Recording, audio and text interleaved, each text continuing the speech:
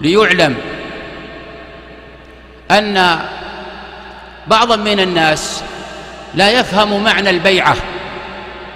البيعة إذا بايع أهل الحل والعقد فإن عامة الناس يتبعونهم. بعض الناس قد يفهم فهما خاطئا.